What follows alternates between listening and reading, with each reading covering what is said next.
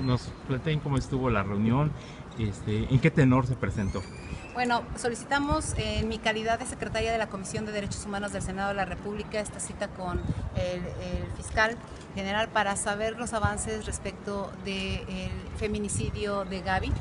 y evidentemente ante la petición de ayuda, en mi caso, eh, reitero como integrante de la Comisión de como secretaria de la Comisión de Derechos Humanos del Senado, por parte de la señora Ligia. Nos preocupan algunas cuestiones que eh, eh, evidentemente han retrasado un poco en el proceso de la investigación, aunque aparentemente estemos en tiempo de carácter legal, pues sí vemos que hay un sesgo eh, muy claro de no calificar este asunto como un tema de feminicidio. Nuestra petición concreta fue que se eh, aporten las pruebas suficientes por parte de la Fiscalía, quien tiene la obligación de hacerlo, para que eh, evidentemente el juez de control pueda plantear esto como un feminicidio y no como un homicidio